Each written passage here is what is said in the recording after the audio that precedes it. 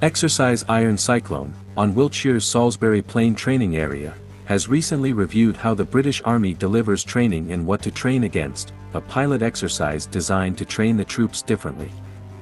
It was more relevant, challenging and increased the combined arms competence of the force, a crucial element for success on the modern battlefield. The British Army reports. The King's Royal Hussars Battle Group training package involved elements from the 1st Battalion the Mercian Regiment, 26th Engineer Regiment, 19th Regiment Royal Artillery, with real-life support from 4 Regiment Royal Logistic Corps, 4 Armoured Close Support Battalion Royal Electrical and Mechanical Engineers, and 4 Armoured Medical Regiment, and was an opportunity to rebuild and grow as a new battle group.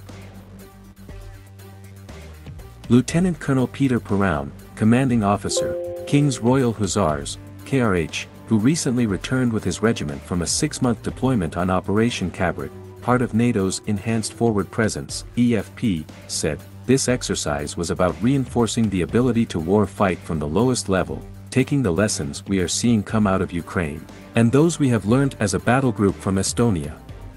Ukraine has absolutely shown that the basic level skills are the bedrock of that, and this exercise was a real opportunity for us to build on those.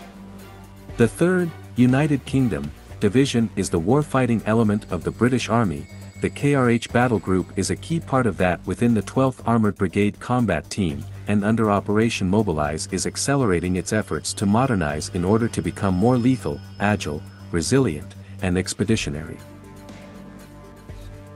Part of that was Exercise Iron Cyclone which aimed to blend initial trade training and subsequent trade training into collective training, through a future training pipeline to be better prepared and combat or mission ready to fight wars on lands.